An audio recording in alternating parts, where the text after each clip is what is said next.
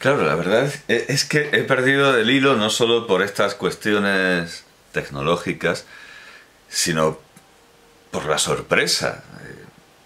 Este vasto imperio, este, este próspero emporio que tengo aquí a mi, a mi cargo y no lo sabía. Sin embargo, he recordado que antes del cierre de todo por la pandemia, yo ya había propuesto, o sea, eh, entiendo que yo era profesor de semipresencial, pues justo el año en el que estalló la, pandemia. Y yo había propuesto a mis alumnos eh, ir a ver ir a ver Villanueva de la Reina, ir a ver los escenarios del manuscrito encontrado en Zaragoza de Potocki y también podríamos ir al Museo Arqueológico de Jaén para ver todos los tesoros que no están en estas poblaciones pero proceden de allí. Para ver el pasado de eh, cada una de estas poblaciones hay que ir al Museo de Jaén y si ya es una cosa muy muy buena pues se lo habrán llevado al Museo, eh, eh, al Museo Arqueológico Nacional de Madrid. Eh, lo había pensado y ahora que se ha desvanecido la pandemia, ha pasado de moda y ahora estamos en guerra y en crisis energética, yo creo que, bueno, claro, con eso va a subir la gasolina, pero yo creo que sería posible meter en un autobús a, bueno, son, tengo 103 alumnos. Eh, bueno, yo que sé, en dos autobuses a, mis alumnos e ir a ver el, escenario del manuscrito encontrado en Zaragoza, las cuevas del Lituergo, la casa de postas, el Museo Arqueológico de Jaén eh, y bueno, ¿qué, más ciudades? Eh, sí, la Casa de Piedra de Porcuna que tuvieran que tuvieran una idea de lo grande que hay, de, lo, de, noble, de de lo notable, de lo memorable que hay en el ámbito, bueno, el ámbito es sociolingüístico, en el módulo en el que están matriculados o del que forman parte, en esa especie de cuerpo místico educativo. Bien, y lo que quería mostrar, voy a tener que subir el volumen al máximo, etcétera, etcétera, es un reportaje de eh, Canal Sur ah, sobre la pava de Cazarilla. Veo que tiene 80 y... Eh, eh, ¿Qué digo 80? Así como los, los seguidores de la Gásena. No, tiene 8.737 visitas, que son muy pocas, teniendo en cuenta que eh, este vídeo tiene 12 años. Este vídeo tiene solo 12 años. La descripción es, la pava de Cazarilla, Jaén, ha vuelto a ser lanzada desde el campanario de la iglesia de Santa María de la Magdalena de este pueblo en su fiesta de San Blas. Bueno, por cierto, claro, hay que entender que si tiene 12 años será de, de 2011. de, su, de este pueblo en su fiesta de San Blas, pese a la sanción económica de 2.001 euros, que se puso el pasado año a la persona que la arrojó y la pagaron entre todos los vecinos del pueblo. Bueno, puede ser que no sea de esa fecha, sino eh, de antes y ya, han subido el vídeo, no lo sé. En todo caso, YouTube nos advierte de que eh, nos advierte de que RTVA, Radio Televisión de Andaluza, está financiada total o parcialmente por la Administración Pública Andaluza. Es decir, que lo que vamos a ver es la voz de la Administración Pública Andaluza. Y en el tiempo en el que está hecho esto, eh, es la voz del PSOE. Y los periodistas que van a salir, especialmente Modesto Barragán, son la voz del PSOE. Es como si hablara el PSOE. Es como el diario Jaén, que tenía entre sus accionistas, cuyo accionista mayoritario era el PSOE, eh, va a hablar el PSOE, el PSOE del pasado y seguramente nos va a chocar en contraste con lo que es el PSOE ahora. Creo que esto ya puedo mostrarlo. Eh, veo que hay gente que mientras yo hablo me comenta, me, me, comenta y me sigue... Eh, me sigue, como, me sigue comentando. si yo hiciera caso a cómo tengo que escribir, según esta gente, escribiría como ellos, de una manera aburrida que no le interesaría a nadie. Ellos quieren que sustituya mi estilo por el suyo cuando ellos tienen un estilo pésimo.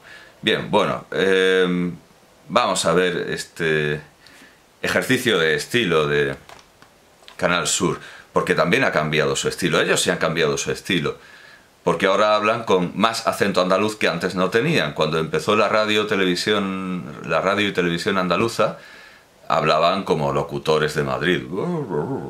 Y luego mm, fueron incorporando un habla andaluza completamente artificial, pero eran disposiciones legales y lo hicieron. Ellos sí han cambiado, yo no, yo no cambio. Bien, vamos allá. San Blas. Tan buenas. ¿Y Gracias. bendecidas? Y bendecidas para que nos curen todo lo que tengamos en la garganta. Ahora lo que lo que apercibimos es que no venga a meter la pata como metieron el año pasado en la pava. ¿Qué pasó el año pasado? Que, que el año pasado bu- bu- buscaron a ver quién había pillado la pava para denunciar y todo eso. Que ¿Por qué no vamos a echar la pava nosotros aquí en nuestra ciudad? Eh, Hay un anuncio que me viene muy bien porque así le quito el sonido y vamos comentando. Eh, la pregunta es, ¿por qué no vamos a echar nosotros aquí la pava en nuestra ciudad? Veo que el anuncio terminará... Por eso decía parcialmente, porque lo pagamos todos, esto sale del erario público, pero también hay anunciantes, también hay publicidad, también hay publicidad que financia este, eh, este reportaje que da una visión positiva de echar, de tirar una pava por, por un campanario. Bien, la pregunta es esta, ¿por qué no vamos a echar una pava aquí en nuestra ciudad? ¿Por qué no vamos a hacer lo que queramos? Sigue, ay no, eh, tengo que darle al, al volumen. Yo no sé si esto puede estar incluso más... Eh, sí, está al máximo. Bueno, pues seguimos, se- se- se- seguimos con, con este mundo del pasado reciente, del pasado inmediato. Bueno, ¿qué diablos? Eh, lo pongo desde la pregunta. ¿Por qué no vamos a echar la pava nosotros aquí en nuestra ciudad? ¿Eh? ¿Cuántos años de tradición, verdad? Por lo menos 600 años tiene esto de tradición. Hace 20 años que no vengo. Vale, bien. Eh, esto requiere un comentario. Ha dicho, por lo menos 600 años tiene de tradición. Si tiene 600 años, no echarían una pava, echarían una pava real. Porque ninguna tradición que involucre a un pavo puede tener 600 años, por la sencilla razón de que los pavos vienen de América. Y América, como bien sabemos, se descubrió en 1492 y aún así no empezaron a traer pavos. Más bien habría que esperar a las conquistas de Hernán Cortés. Es imposible que una tradición con una pava, que no es una pava real, eh, tenga 600 años. Y alguien dirá, pero el que está hablando es mi padre, ese argumento de autoridad, pero es mi padre. Bueno, pues le recomendaré que recuerde a Kipling, Rudyard Kipling, que era un entusiasta partidario de la guerra, del imperialismo, eh, cuando se produjo la masacre terrible que, que cambió la opinión de todo el mundo sobre el imperialismo británico. eh, puede verse en la película Gandhi, en la película Gandhi eh, de, creo que de, Attenborough. Bueno, ahora, eh, la protagonizada por Ben Kingsley. Gandhi, eh, película de 1982, eh, película de 1982, ya que he recomendado La locura del rey Jorge, sí, de Richard Attenborough, protagonizada por, por Ben Kingsley. Bueno, pues allí hay una buena representación de la matanza de de Anritzar, la matanza de Anritzar que eh, ofendió muchísimo a los indios que habían sido ennoblecidos por el imperio británico y dejaron de usar su título de ser, prefiriendo el sánscrito de Sri. Y sin embargo, Rudyard Kipling, a propósito de la matanza de Anritzar, dijo que eso había salvado la patria y que era un patriota que había cometido semejante canallada, semejante masacre, semejante barbaridad. A, Kipling le pareció algo patriótico y, salvación de la patria. Le pareció que aquello era salvación de la patria. Bueno, eh, Kipling era un entusiasta de la guerra y del, y del imperialismo y mandó a su hijo, John Kipling, a luchar, pero Kipling estaba muy mal de la vista, no veía tres en un burro, siempre necesitaba sus gafas y no lo aceptaron en ningún cuerpo de ejército. Y al final Kipling tuvo que mover muchos hilos e incluso mentir, mentir mucho para que lo aceptaran en los guardas irlandeses. Se dice que John Kipling acabó en el barro buscando sus gafas y su cuerpo desapareció. Y nunca en vida de Rudyard Kipling apareció el cuerpo de John Kipling. Y Rudyard Kipling, el partidario, entusiasta, fervoroso de la guerra, escribió, escribió un epitafio en una colección de epitafios de guerra. Eh, lo tituló Common, Form. Formulario común, eh, common form. If any question why we died, tell them because our fathers lied. Si alguien pregunta por qué morimos, mejor, eh, si alguien pregunta, aunque es por qué morimos, pero si alguien pregunta por qué yacemos, decidles, porque nuestros padres mintieron. Hay miles de interpretaciones sobre esto desde quien dice que se refiere a los padres que dijeron que no era necesaria la guerra y que no había que aterrorizar al enemigo y que era posible evitar la guerra y al final no se pudo evitar la guerra. Hay quien supone que es una excepción en el discurso de Kipling y que por una vez se, atreve, se atreve a decir con, eh, con, con, eh, Owens eh, es, Owens el que dice lo de... lo voy a citar también.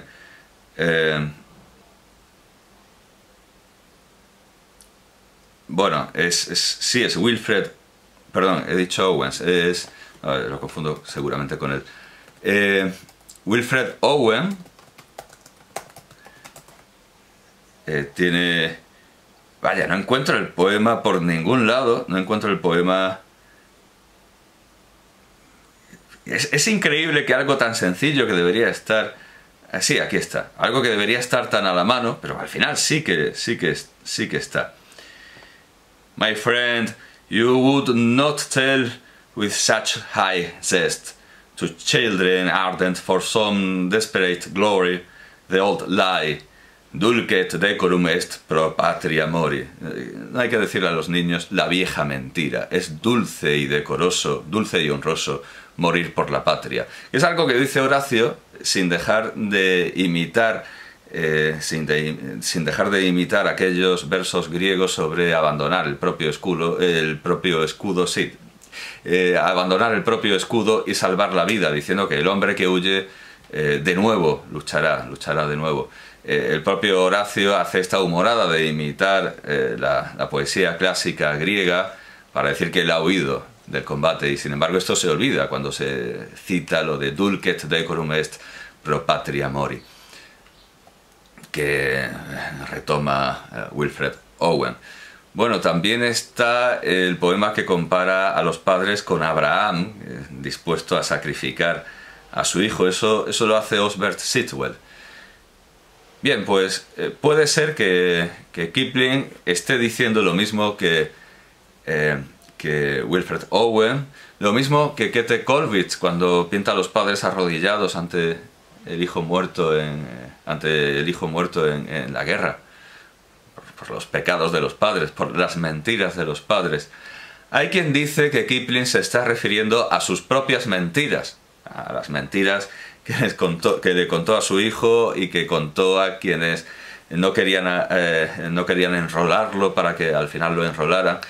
Los clásicos van más allá de lo que el autor pensó al escribirlos. Eh, este poema es un clásico y por lo tanto muchas interpretaciones son posibles y ninguna es la única y verdadera, la única, eh, la única no existe, no, no existe la única, la única interpretación.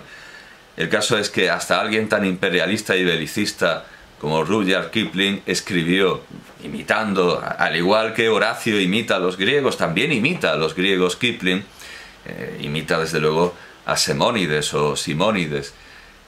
Incluso él escribió, y Simónides era más belicista y más, eh, eh, más apegado a la palabra dada y al respeto a, esa honorabilidad de la que habla Horacio, Kipling escribió, si alguien pregunta por qué morimos, responded, nuestros padres mintieron. Si alguien me dice, no, lo, lo, lo, que dice de los 600 años de la pava es verdad porque es mi padre, bueno, yo no, no, no digo que mienta voluntariamente, pero alguien le ha mentido y se lo ha creído. Y lo que está contando es una mentira. primera represalia. Hay alguien que está, que está pitando en la calle seguramente muy ofendido porque estoy exponiendo, no dudas, sino abiertamente la falsedad de que esta cosa de la pava pueda tener 600 años. Por supuesto que existe la tradición oral, que existe la tradición oral y que hay que tenerla en cuenta para historiar ciertas cosas pero eh, también existe la lógica y como digo, es absolutamente imposible, es absolutamente imposible que hubiera una pava antes del descubrimiento de América, por lo tanto la fiesta no puede tener 600 años. Es posible que Zoroastro o Zaratustra viviera 6.000 años antes de la primera Olimpiada, como dice Platón. Es posible, 6.000 años, ¿por qué no? Y que las leyes de los tartesios tuvieran la edad de la que habla Estrabón, que creo que son también 6.000 años. Esos 6.000 años, bueno, pues nadie se mete con ellos, aunque es muy difícil que existiera Zaratustra antes de las invasiones indoiranias, antes de las invasiones indoeuropeas. Es sí, digamos que es también imposible. Lo de las leyes de 6.000 años de los tartesios, bueno, vale, puede ser. Pero los 600 años de la pava de Cazalilla, no, no puede ser vuestros padres mintieron. Yo no digo que tu padre, que tu padre concretamente, o el tuyo, o el tuyo, eh, sea un mentiroso, pero que vuestros padres, nuestros padres mintieron, eso es inequívoco. Porque es mentira, es mentira que la pava pueda tener 600 años. Bueno, mientras, mientras hay alteración en la calle, eh, se están empezando a poner nerviosos, eh, seguramente muchos estarán viendo esto y dirán, el profesor dice que mi papá es mentiroso, vamos a rajarlo. Eh, y al, al, oírme esta imitación, esta parodia, esta sátira, habrá alguien que diga que nos está imitando y se está riendo de nosotros. Y alguien dirá, vamos a rajarlo. En un continuo despertar de la pesadilla que es lo que caracteriza la trama del manuscrito encontrado en Zaragoza del conde Jan Potocki, porque ayer me decía un compañero que alguien había visto mi vídeo sobre el conde Jan Potocki, sobre el manuscrito encontrado en Zaragoza, y que no se enteraba de qué iba el manuscrito encontrado en Zaragoza. Bueno, pues para resumir mucho, va de esto, un, guardabalona, que por cierto hay un guardabalona que tiene un exvoto en el santuario de la Virgen de... Cueca, no, de, de la Virgen de Quesada. Sí, eso es. La Virgen de Quesada hay curiosamente un ex guardabalona que iba a Barcelona y se curó con la intercesión de la, Virgen de, de, iba a decir Zalamea, Zocueca, Cazalilla, de, Quesada, eso es, de Quesada. Bueno, pues un guardabalona eh, sale de la posada en Andújar, se va a la casa de postas, pero entonces la casa de postas no existía.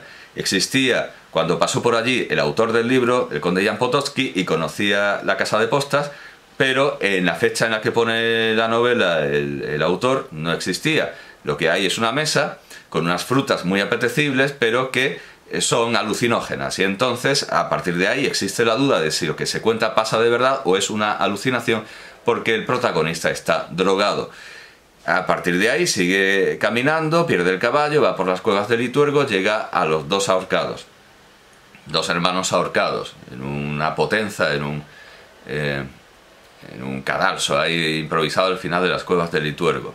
Luego sube y va a la, a la eh, venta quemada, que ahora es un puticlub y que está encima de, la venta quemada. Ahí ya sí que no podemos ir.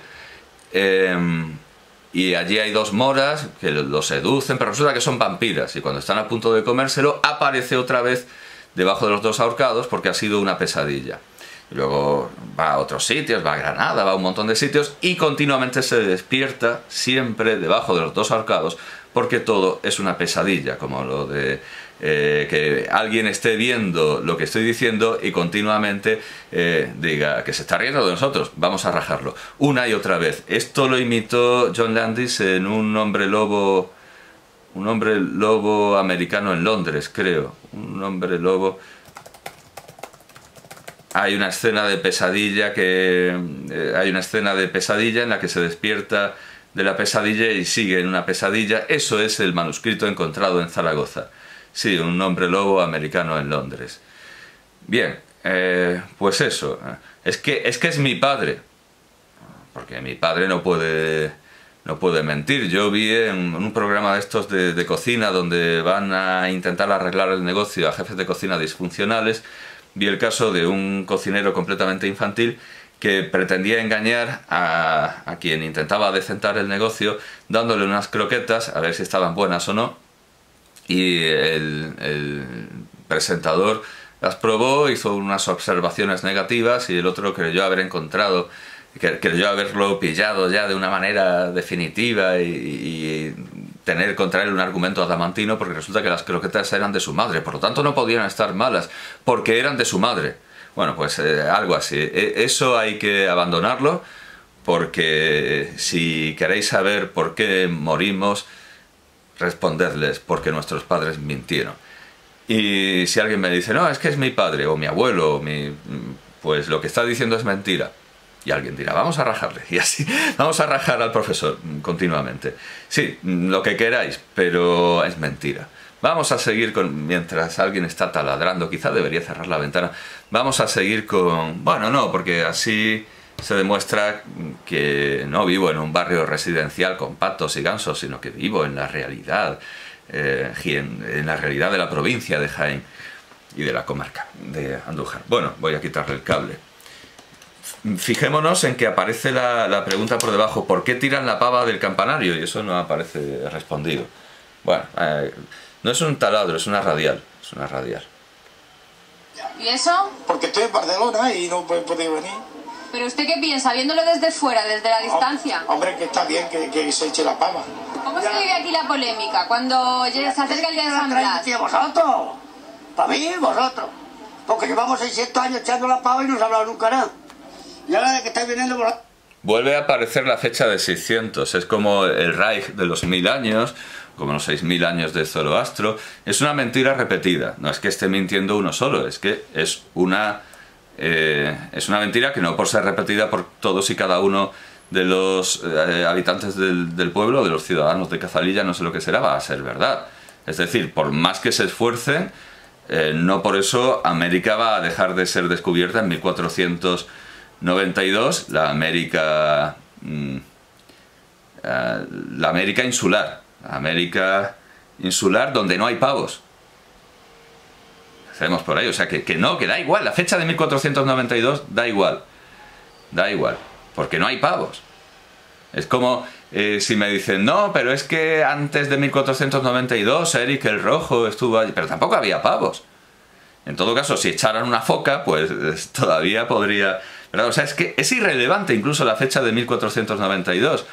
El primer pavo no sé cuándo vendría, pero imagino que lo traería eh, Cortés. Vamos, no creo que... A ver, si hay suerte y se nos dice cuándo vino el primer pavo. Ah, vamos a ver. Vamos a... eh, bueno, según esto... Ah, bueno, claro, el pavo que era guajolote. Luego por... O gallina de indias, gallina de indias.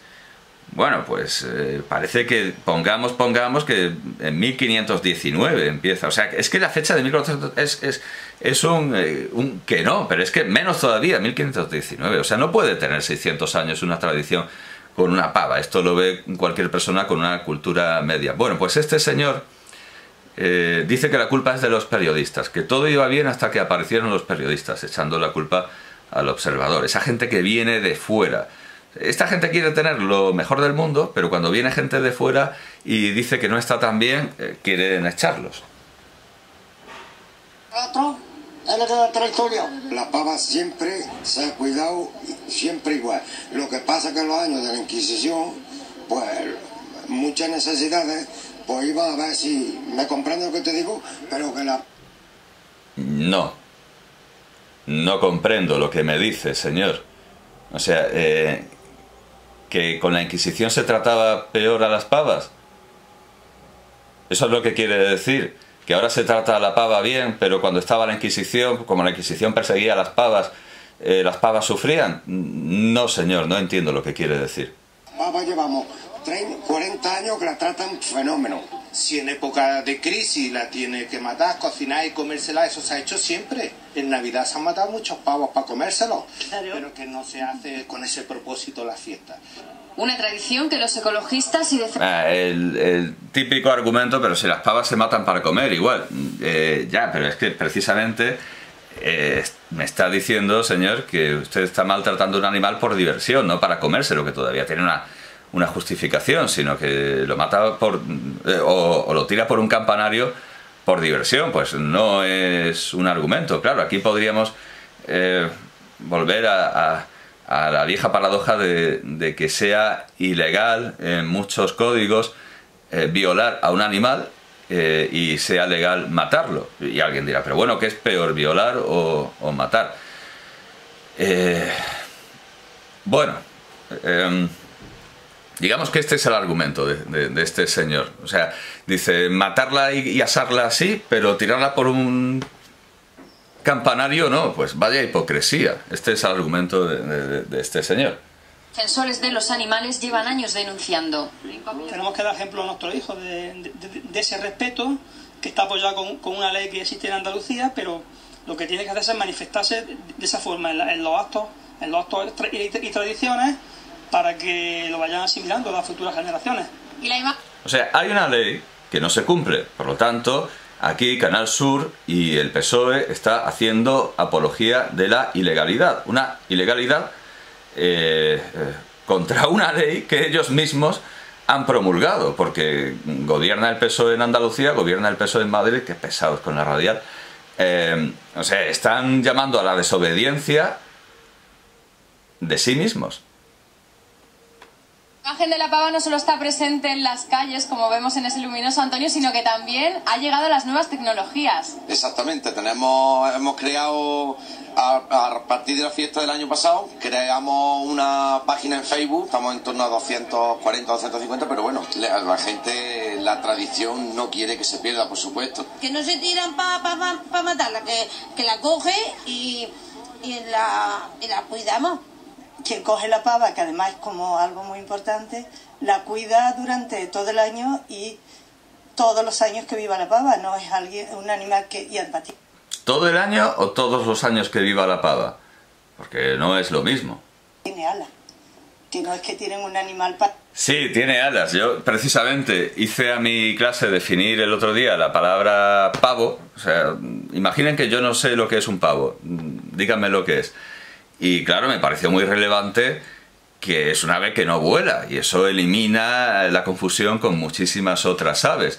Pero claro, aquí en Cazalilla dicen que no vuela. Bueno, la tiras por un campanario vas a ver tú si vuela. Y la pava hace lo que puede, pero efectivamente no remonta el vuelo, cae, o sea, aletea un poco, pero eh, sí, tiene alas, pero señora, no vuela. No vuela. No es como tirar una tortuga, pero las alas le sirven de poco. se estampe contra nada. ¿Por qué no en medio de la corrida de toros? Porque hay dinero por delante. Aquí no hay dinero. Pues intentan decortar la fiesta. Y la- Esto ya sí es un argumento, esto ya sí es un argumento sensato.